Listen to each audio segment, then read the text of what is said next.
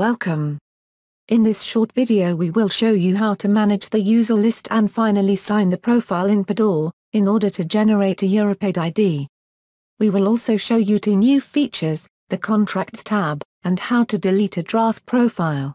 In the User List tab, click on the Add a User button at the bottom of the page. Please note that you can only add users who have a valid EU login. The user's profile window pops up, and you may give the permissions. As you can see the user now appears in the list.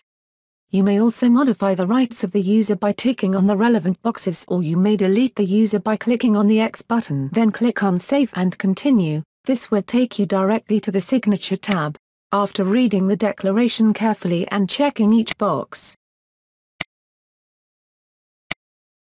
click on the Sign Now button your new EuropeAid ID will appear. Every time your profile is signed you will receive a notification.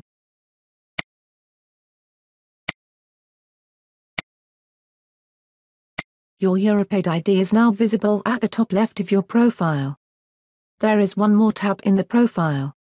The Contracts tab.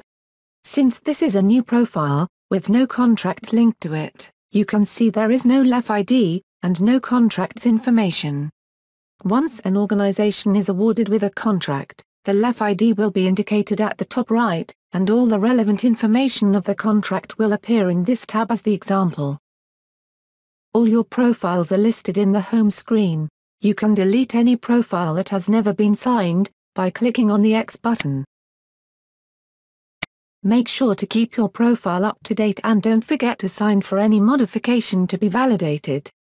The evaluation committee will only have access to the latest signed version of your profile. Thank you for watching.